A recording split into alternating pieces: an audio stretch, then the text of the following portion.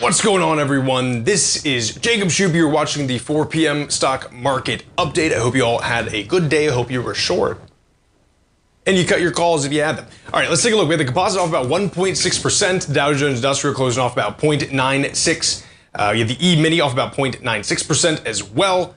Trading, uh, well, the SPY is trading at 577.79, off about a full percent uh, as well. The Dow, excuse me, the dollar off about. Um, Good Lord, Jacob, just calm down.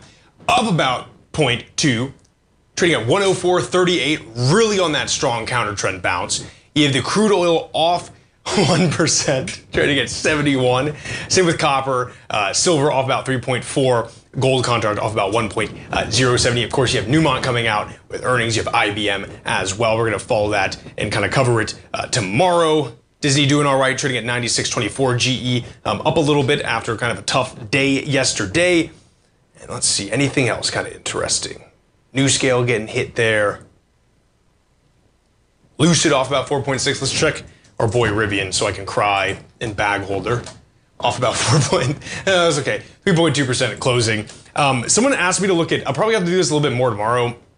Someone actually emailed me yesterday, I had to get to it, uh, to look at CRISPR, and I didn't like the stock at all. You know, you have this pretty strong trading range, again, 45 to 50, and we're off about 4.25. Uh, I will go over it tomorrow, uh, but I cannot see a, a, reason to invest in this. You had some of these private equity companies who are like, ah, yeah, we see like an 100% upside to this stock, or giving it price targets even up to $120. And uh, I don't see what it is about this company that is appealing. They don't own the patent to CRISPR Cas9. It's the guy who works there, right? Um, yeah, excuse me, the woman. That's my bad. I know she used to teach at Berkeley as well, uh, Jennifer Doudna. And they have what, like one therapy, two therapies that are out. They have some in the pipeline, but uh, so the biggest one is the sickle cell disease which is $2 million for the treatment. That's approved. And then thalassemia, which is you start making weird hemoglobin or not enough hemoglobin.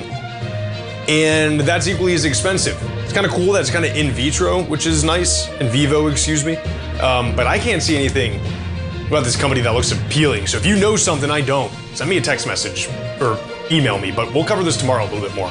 Folks, thank you so much for joining me today. Take care. We'll be on tomorrow 9 a.m. with Tommy O'Brien, then Basil, Steve, Larry, and myself. Take care.